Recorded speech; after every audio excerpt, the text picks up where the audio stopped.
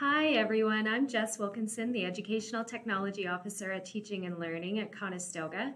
And today's tech tip is going to focus in on um, a specific question that one of the faculty here gave to me, which is how can I structure uh, agreement or disagreement questions using Mentimeter? So Mentimeter is a tool that I've been um, showing faculty at Conestoga for, for about a year now. And it's a completely free tool that you can um, sign up for online at menti.com. And what I'm going to show you is three ways that you could structure agreement or disagreement questions in a Mentimeter presentation.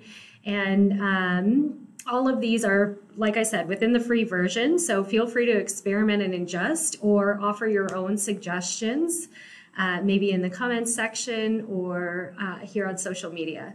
So I'm going to kick off with just kind of showing you three examples of how you could construct those questions, and then you take it wherever you would like to in your teaching.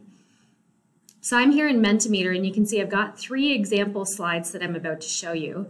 And the first agreement or disagreement slide is probably the most obvious. You could set up agree or disagree questions just using statements on a multiple choice question type.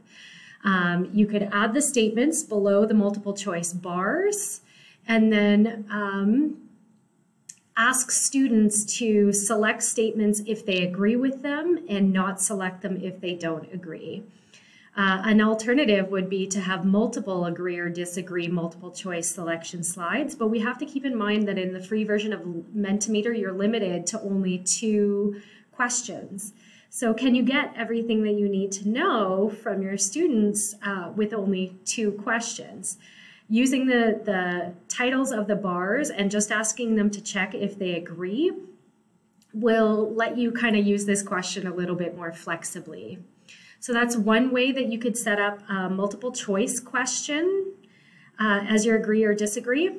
However, uh, my clearest recommendation would actually be to use the scales question type uh, and use almost like a Likert scale to be able to create uh, a range of strong disagreement to strong agreement when you set up that question type. So select the scales and then in the content, um, title the slide, write your statements, and down here at the bottom in the dimensions, just change the labels to a uh, strong agreement or a strong disagreement. And then you can see I can put in, you know, four or five statements and ask students to rate the level at which they disagree. And then when you have results on the slide too, it shows you the general trends and where the responses fall in addition to the median. So this one actually can be quite a, a powerful uh, tool to use to indicate, indicate overall agreement or disagreement. Another way that you can kind of gauge agreement or disagreement to statements is to be perfectly honest in the types of slides, to scroll down to the bottom and just use the text slides.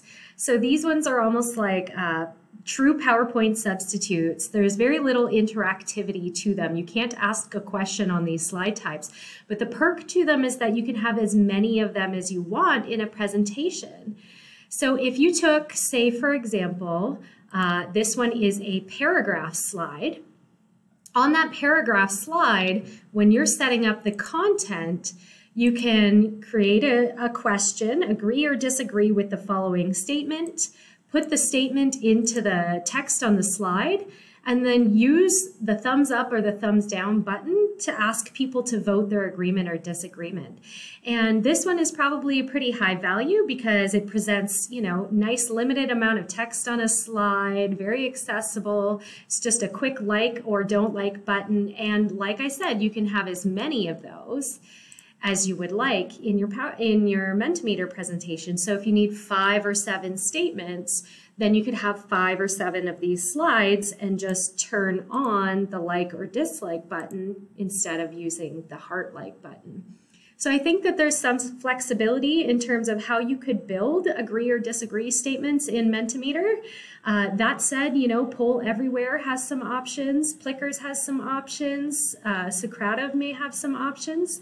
Tell me what you're doing with these and I'll be really interested in hearing some of the interesting things that you're doing in your teaching.